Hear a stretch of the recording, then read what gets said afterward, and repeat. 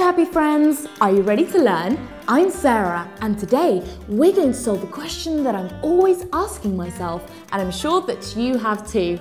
Let's look at these images.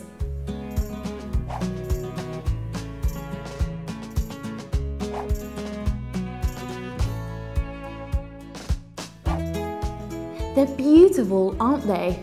They have rainbows, but what actually is a rainbow?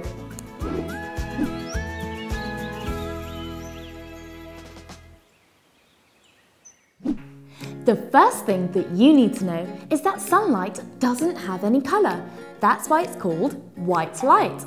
But really, it's the merging of lots of different colours.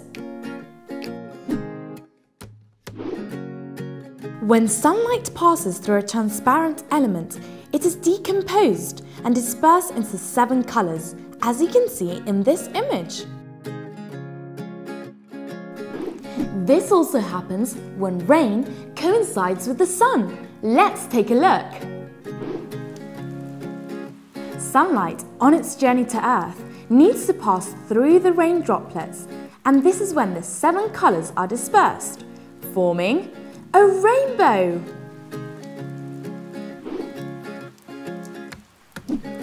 But realistically, a rainbow is never physically there. It's actually an optical illusion.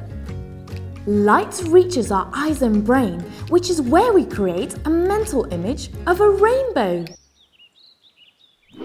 A rainbow is formed by seven visible colours, and they are red,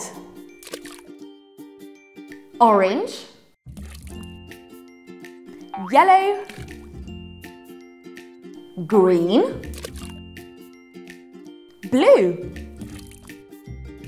indigo, and violet. And then there are another two colours that we can't see with our human eyes. They are ultraviolet and infrared. There are lots of things about rainbows that I've learnt by investigating for this video. A fun fact about rainbows is that you can also see them at night time. These are called moonbows. So a daytime one is a rainbow and a nighttime one is a moonbow. Goodbye happy friends, see you next time and I hope you're always ready to learn. Goodbye!